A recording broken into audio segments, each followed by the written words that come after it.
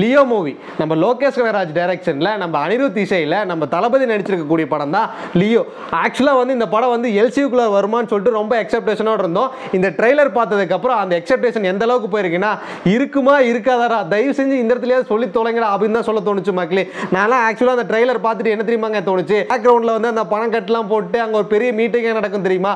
அது ரோலெக்ஸ் தான் அந்த மீட்டிங் நடத்திட்டு இருக்காருன்னு நினச்சேன். ஆக்சுவலாக வந்து நம்ம லியோ தாஸை பிடிக்கிறதுக்கோசரம் அந்த மீட்டிங் நடந்துட்டு இருக்கு அப்படின்ற மாதிரி ஒரு கான்வர்சேஷன் போயிட்டு இருக்கு. ஏன்னு கேட்டிங்கன்னா இது ஹிஸ்ட்ரி ஆஃப் வைலன்ஸோ ஸ்டோரியாமாங்க அப்படின்னு தாங்க சொல்லிட்டு இருக்காங்க. ஆக்சுவலாக வந்து ஹிஸ்ட்ரி ஆஃப் வைலன்ஸோ எந்த வைலன்ஸோ நமக்கு அதெல்லாம் தேவை கிடையாது. நமக்கு எல்சியூக்குலர் வருமோ வராதா? அப்படி எல்சியூக்குலர் வந்தால் நம்மளை வந்து இந்த சைடு கமலஹாசனையும் இந்த சைடு நம்ம லியோ விஜயும் பார்க்கறதுக்கு அவ்வளோ அருமையாக இருக்குண்டா. ஆக்சுவலாக ட்ரெய்லர் ஓப்பனிங்கில் வந்து நம்ம சாண்டி மாஸ்டர் இருக்கார் பார்த்தீங்களா ரொம்ப கொடூரமான கோலத்தில் நம்ம சைக்கோ கொலகாரனா இருந்துட்டு இருப்பாரு ஊருக்குள்ளார. அந்த கொலகாரன் என்ன பண்ணுறான்னா அந்த ஊரில் இருக்கிறவங்க எல்லாம் கொலை பண்ணிட்டே வரான். அதில் வந்து நம்ம தளபதி விஜய்கிட்ட ஒரு டைம் மாட்டுறான். அந்த தளபதி விஜய் ஒரு டைம் மாட்டும் போது அவனையும் போடுறான் அவங்க அண்ணனான மிஸ்கினையும் போடுறான். மிஸ்கினையும் போட்டதுக்கப்புறம் அந்த ஊரே ஃபுல்லாக பிரபலமாக பேசப்படுற அப்படி இப்படி ஒரு ஆள் தான் நாங்கள் தேடிட்டு இருந்தோம் அப்படின்ற மாதிரி பேசினோடனே அதுங்க அர்ஜுன் தாஸுக்கும் கிடைச்சிருது அந்த மாதிரி சஞ்சய் தத்துக்கும் இந்த மாதிரி இவன் ஒருத்தர் இருக்கான் இவன் தான் அப்படின்னு சொல்லிட்டு எல்லா விஷயம் தெரிய வருது.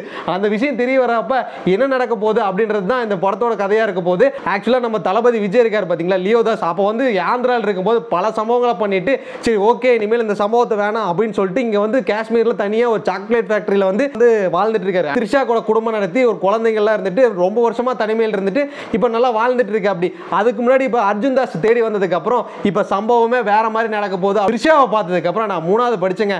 அப்போ வந்து நான் மூணாவது படிக்கும்போது கில்லியில் என்னடா இந்த அக்கா இவ்வளோ அழகா இருக்காங்களேன்னு சொல்லி பார்த்துட்டு இருந்தேன். இப்போ வந்து நான் காலேஜ் முடிச்சு நாலு வருஷம் முடிஞ்சு அஞ்சாவது வருஷத்துல பிறந்துட்டேன். ஆனால் அஞ்சாவது வருஷம் ஆயுமே இன்னும் வந்து த்ரிஷா நீங்க இன்னும் இவ்வளோ அழகா இருக்கீங்களா அப்படின்னு சொல்லி கேட்க தோணுது மக்களே. உங்களுக்கு அந்த மாதிரி கேட்க தோணுச்சுன்னா நம்ம கமெண்ட் பாக்ஸில் கேட்டு விடுங்க. நான் லொக்கேஷனை உங்களுக்கு உங்களுக்கு வந்து ஒரு விஷயம் சொல்லிக்கிறேன். நீங்கள் வந்து ஹிஸ்ட்ரி ஆஃப் ஃபைனான்ஸ் எடுத்திருந்தாலும் சரி நிகழ்ச்சிக்குள்ளே நீங்கள் கொண்டு வரலைன்னா எங்கள் எக்ஸப்டேஷனே மொத்தத்தையும் ஸ்பாயில் பண்ண மாதிரி ஆயிருந்தேன்